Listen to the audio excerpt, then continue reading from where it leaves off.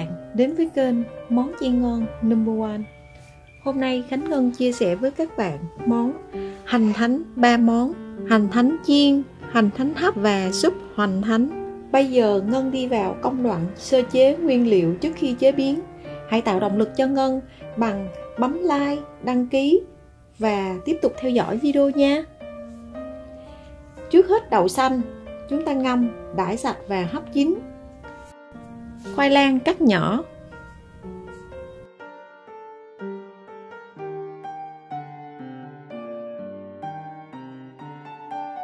Nấm mèo cắt nhỏ. Nấm rơm cắt nhỏ.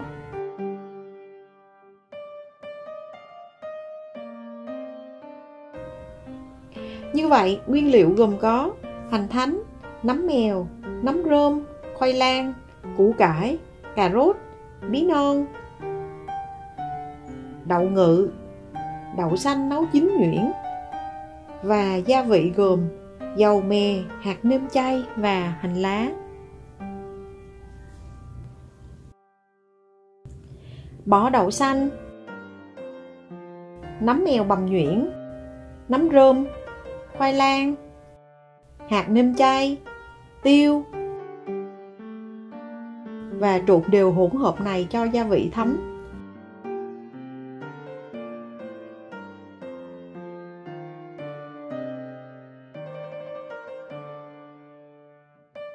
sau đó, và ta bỏ nhân vào, gấp lại, ta cuộn lại theo cái hình mà chúng ta muốn làm. Ngân gấp hình tam giác nha. Dùng nước thoa vào mép hai bên dính lại.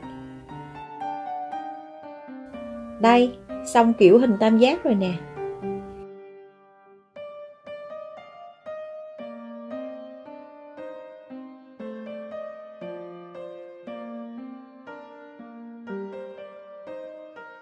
Kiểu này thì gấp các biên lại. Các bạn nhìn thấy. Mình làm nè. Trông thật đẹp phải không?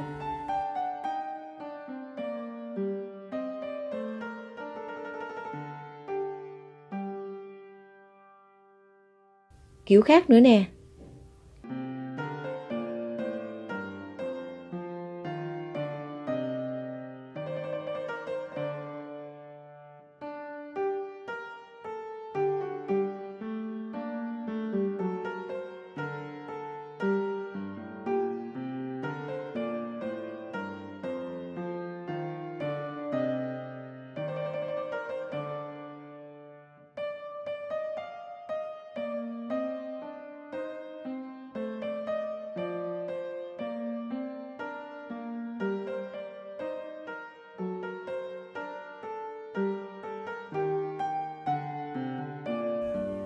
Kiểu hình giống như cái bao bố nha các bạn.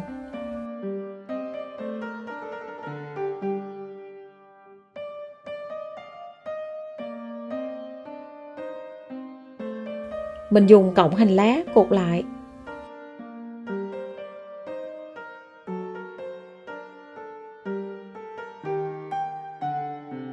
Kiểu đơn giản nhất là mình cứ gấp lại theo kiểu hình vuông, hình tam giác hoặc hình nhật, chữ nhật là những kiểu đơn giản nhất.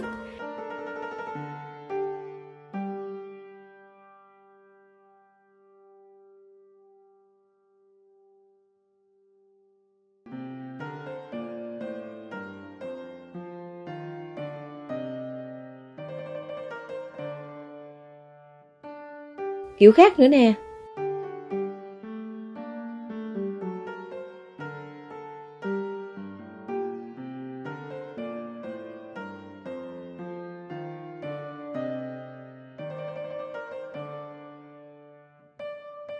Như vậy là chúng ta đã tạo một số hình à, kiểu cho cái bánh hoành thánh của chúng ta đã xong.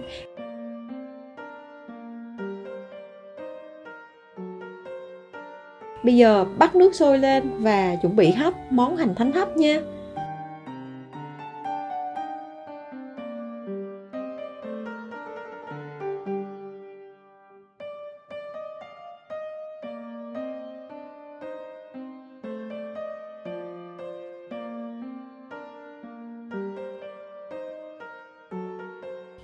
Trong khi đó, Ngân Ngân sẽ tỉa củ cải, cà rốt, khoai lang và cắt bí non ra từng miếng vừa ăn.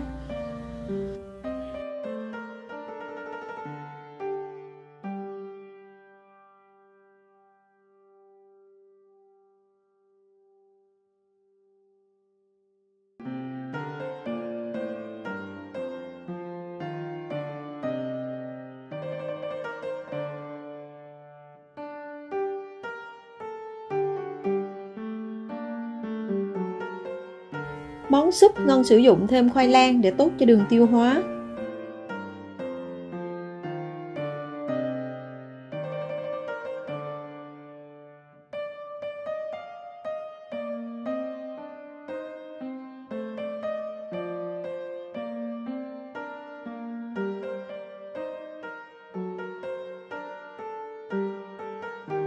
Nấm rơm, cái nào to quá thì cắt làm ba làm tư vừa ăn.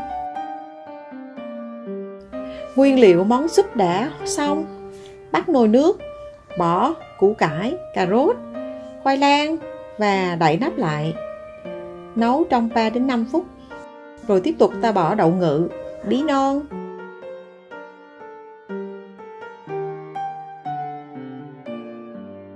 Và cuối cùng là bỏ nấm rơm vào.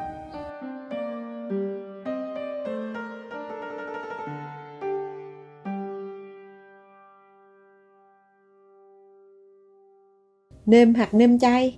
Như vậy là món súp đã hoàn thành. Vớt cái bọt ra để cho nồi nước nó trong và nhìn nó ngon hơn.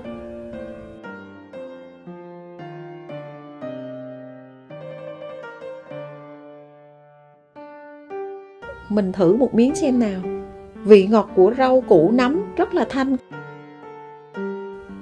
Bây giờ thì món hành thánh hấp cũng đã chín rồi, mình gấp ra dĩa và trình bày để thưởng thức nha lấy một ít hành thánh hấp bỏ vào tô và múc súp rau củ để bỏ vào là ta cũng có được món hành thánh súp.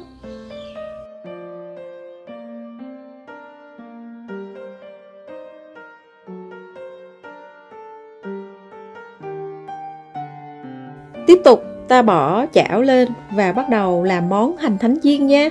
Wow, mùi rất là thơm. Các hình dạng của các miếng hoành thánh thì nó vẫn được giữ nguyên khi chiên nhìn rất là đẹp mắt.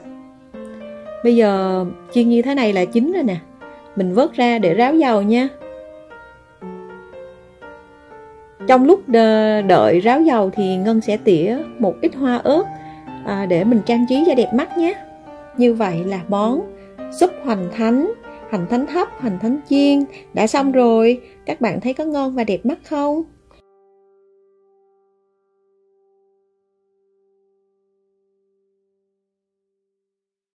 Hãy thử làm cho gia đình mình thưởng thức nha. Nếu các bạn thích, hãy cho Ngân một like, bấm đăng ký và nhớ nhấn vào chuông để nhận được thông báo từ những món ăn chay, những món chay ngon của kênh Món Chay Ngon Number One nha. Cảm ơn, xin chào, bye bye.